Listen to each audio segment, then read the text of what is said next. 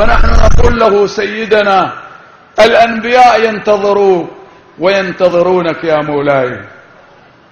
والأوصياء وحتى رب العالمين الذي جعل لك وقتا هو يقول في سورة يونس ليس الكلام لصالح اقرأوا سورة يونس وانظروا.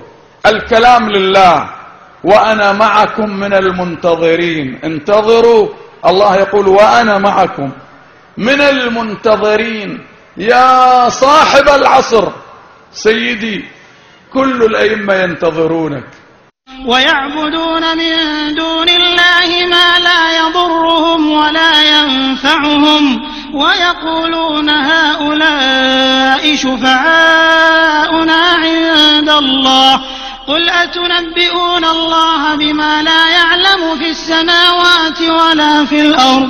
سبحانه وتعالى عما يشركون وما كان الناس إلا أمة واحدة فاختلفوا ولولا كلمة سبقت من ربك لقضي بينهم فيما فيه يختلفون ويقولون لولا أنزل عليه آية من ربه فقل إنما الغيب لله